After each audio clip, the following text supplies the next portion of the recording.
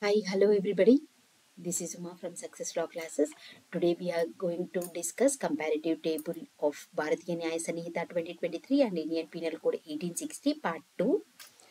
So, Bharatiya Nyaya Sanhita 2023 is going to be implemented from 1st July 2024 and it totally contains 358 sections divided into 20 chapters. So let us discuss the sections of Indian Penal Code versus the clauses of Bharatiya Nyaya Sanhita 2023.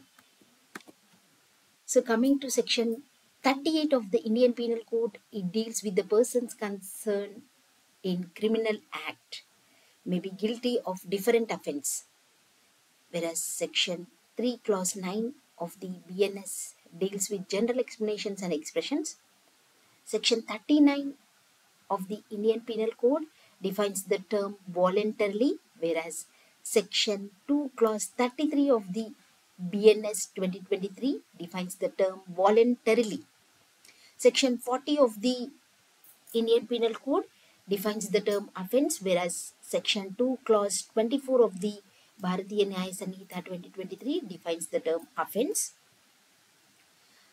Section 41 of the IPC deals with the term special law, whereas Section 2, Clause 30 of the BNS defines the term special law. Section 42 of the Indian Penal Code defines the term local law, whereas Section 2, Clause 18 of the BNS Act 2023 defines the term local law. Section 43 of the IPC defines the term illegal, that is legally bound to do, whereas Section 2, Clause 15 of the BNS defines the term illegal. Section 44 of the IPC defines the term injury, whereas Section 2, Clause 14 of the BNS defines the term injury. Section 45 of the Indian Penal Code defines the term life, whereas Section 2, Clause 17 of the BNS defines the term life. Section 46 of the Indian Penal Code defines the term death, whereas Section 2, Clause 6 of the BNS defines the term death. Section 47 of the IPC defines the term animal, whereas Section 2, Clause 2 of the BNS defines the term animal.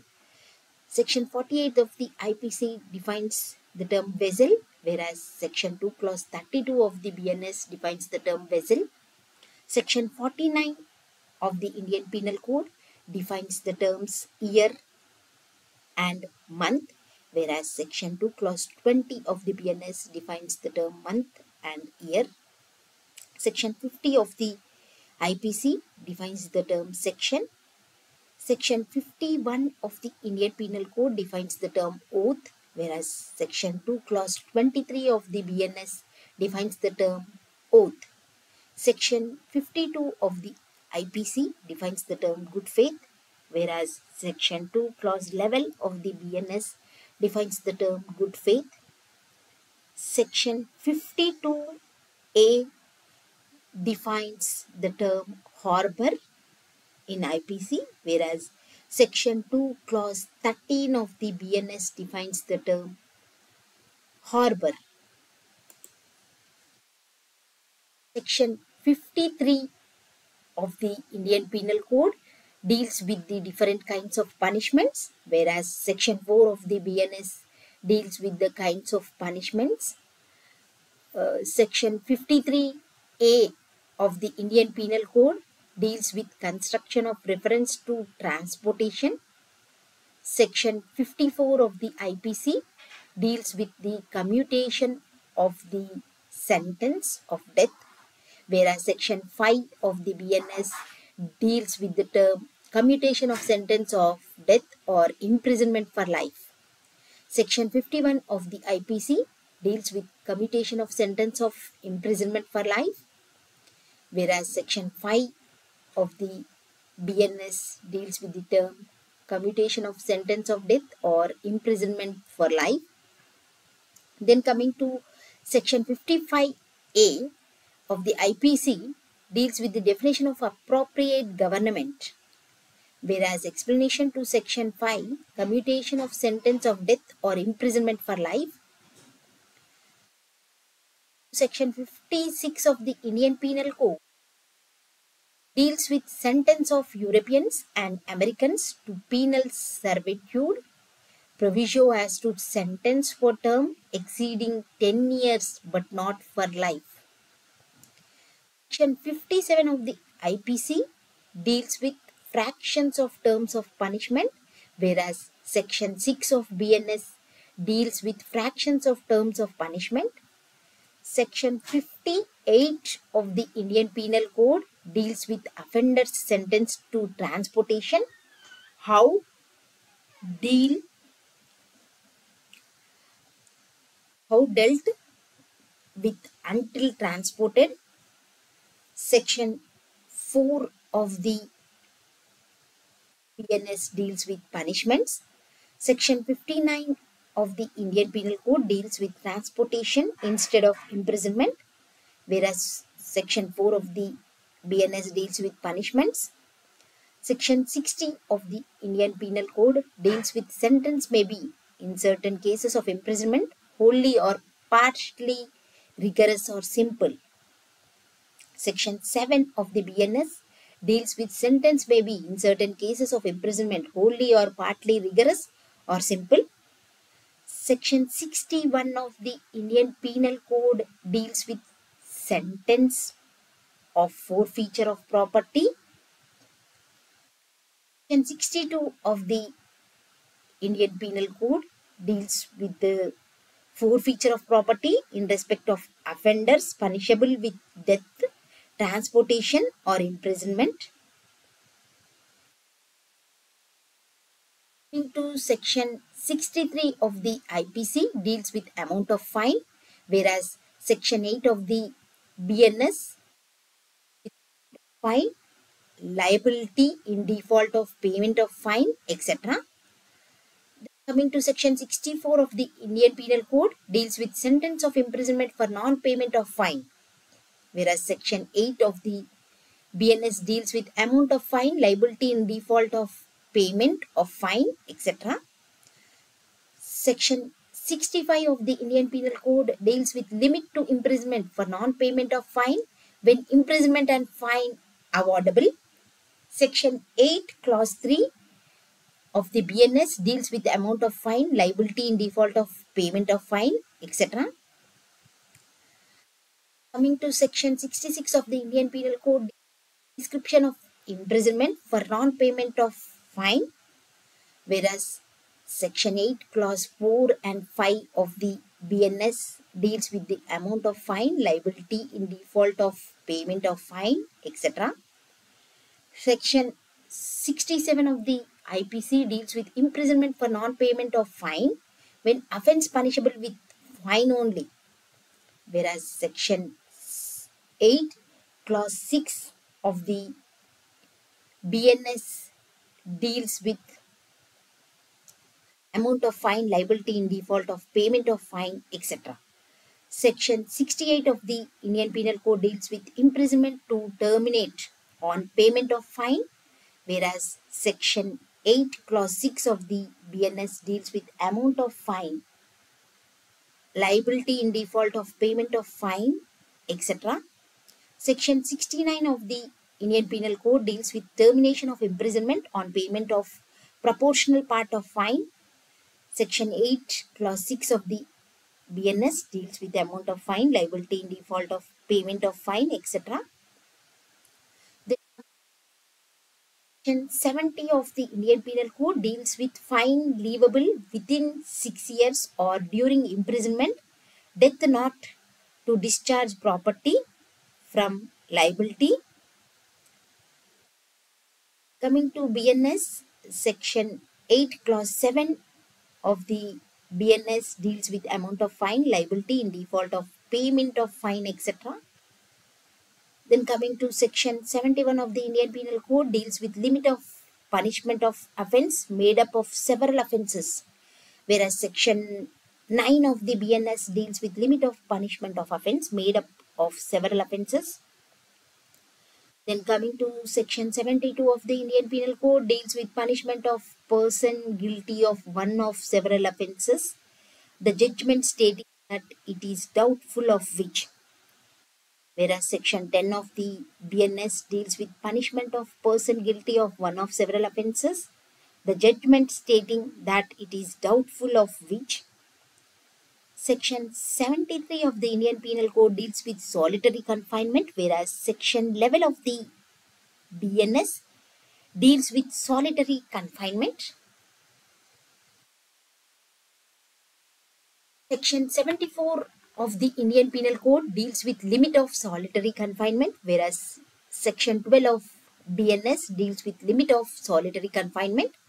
Section 75 of the Indian Penal Code deals with enhanced punishment for certain offences under Chapter 12 or Chapter 17 after previous conviction, whereas Section 13 of the BNS deals with enhanced punishment for certain offences after previous conviction. 76 of the Indian Penal Code deals with act done by a person bound or by mistake of fact believing himself bound by law. Section 14 of the BNS deals with act done by a person bound or by mistake of fact believing himself bound by law. 77 of the Indian Penal Code deals with act of judge when acting judicially. Section 15 of the BNS deals with act of judge when acting judicially, that is general exceptions.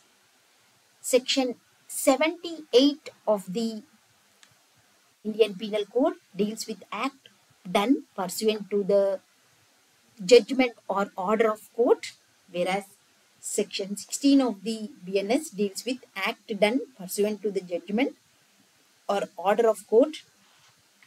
Section 79 of the Indian Penal Code deals with act done by a person justified or by mistake of fact believing himself justified by law. Whereas Section 17 of the BNS deals with act done by a person justified or by mistake of fact believing himself justified by law. Section 80 of the Indian Penal Code deals with accident in doing a lawful act, whereas Section 18 of the BNS deals with accident in doing a lawful act. Coming to Section 81 of the Indian Penal Code deals with act likely to cause harm but done without criminal intent and to prevent other harm. Section 19 of the BNS deals with act likely to cause harm but done without criminal intent and to prevent other harm.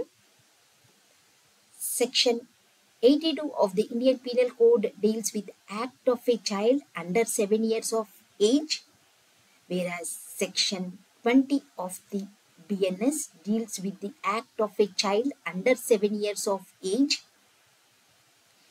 Section 83 of the Indian Penal Code deals with act of a child above 7 years and under 12 years of immature understanding whereas section 21 of the BNS deals with act of a child above 7 years and under 12 years of age of immature understanding section 84 of the Indian Penal Code deals with act of a person of unsound mind that is insanity whereas Section 22 of the BNS deals with insanity that is act of a person of unsound mind.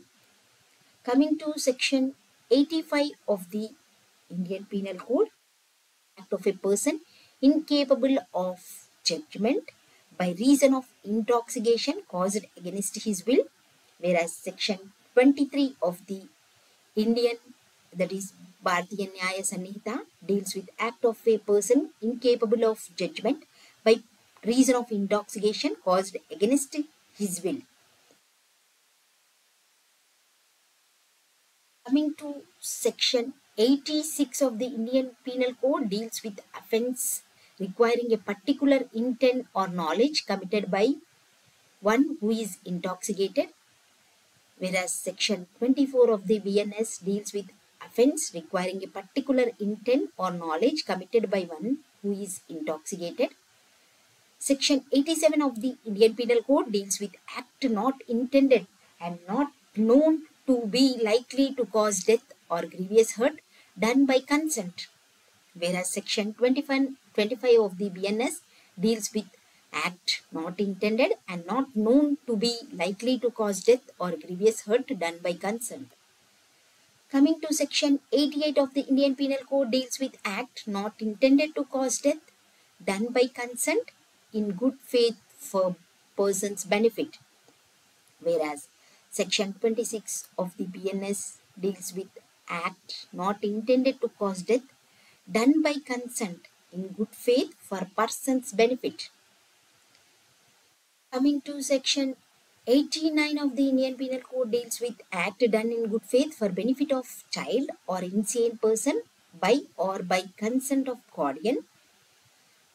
Whereas section 27 of the BNS deals with act done in good faith for benefit of child or person with mental illness by or by consent of guardian. Section 90 of the Indian Penal Code deals with consent known to be given under fear or misconception, whereas Section 28 of the BNS deals with consent known to be given under fear or misconception. Coming to Section 91 of the Indian Penal Code deals with exclusion of acts which are offences independently of harm caused, whereas Section 29 of the BNS deals with exclusion of acts which are offences independently of harm caused. Section 92 of the Indian Penal Code deals with act done in good faith for benefit of a person without consent, whereas Section 30 of the BNS deals with act done in good faith for benefit of a person without consent. Coming to Section 93 of the Indian Penal Code deals with communication made in good faith, whereas section 31 of the Indian uh, BNS deals with communication made in good faith. Section 94 of the Indian Penal Code deals with act to which person is compelled by threats, whereas Section 32 of the BNS deals with act to which a person compelled by threats. Section 95 of the Indian Penal Code deals with tranquility that is act causing slight harm whereas section 33 of the BNS deals with act causing slight harm. Coming to section 96 of the Indian Penal Code deals with that is right of private defense, things done in private defense whereas section 34 of the BNS deals with right of private defense that is things done in private defense. Coming to section 97 of the Indian Penal Code deals with right of private defense of the body and of property whereas section 35 of the BNS deals with right of private defense of the body and of property. Coming to section 98 of the Indian Penal Code deals with right of private defense against the act of a person of unsound mind, etc. Whereas section 36 of the BNS deals with right of private defense against the act of a person with mental illness, etc. Coming to section 99 of the Indian Penal Code deals with act against which there is no right of private defense, whereas section 37 of the BNS deals with acts against which there is no right of private defense. Section 100 of Indian Penal Code deals with when the right of private defense of the body extend to causing death, whereas Section 38 of the BNS deals with when the right of private defense of body extend to causing death. Section 101 of the Indian Penal Code deals with when such right extends to causing any harm other than death, whereas section 39 of the BNS deals with when such right extends to causing any harm other than death. Section 102 of the Indian Penal Code deals with commencement and continuance of the right of private defense of the body. So when it commences and when it uh, continues. Private defense of the body is dealt under 102 of the Indian Penal Code whereas section 40 of the BNS deals with commencement and continuance of the right of private defense of the body. Section 103 of the Indian Penal Code deals with when the right of private defense of property extends to causing death whereas section 41 of the BNS deals with when the right of private defense of the property extends to causing death. Section 104 of the Indian Penal Code deals with when such right extends to causing any harm other than death, whereas Section 42 of the BNS deals with when such right extends to causing any harm other than death.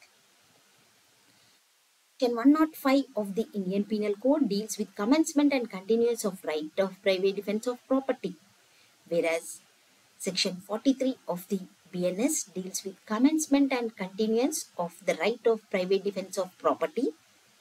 Section 106 of the Indian Penal Code deals with right of private defense against deadly assault when there is a risk of harm to innocent person.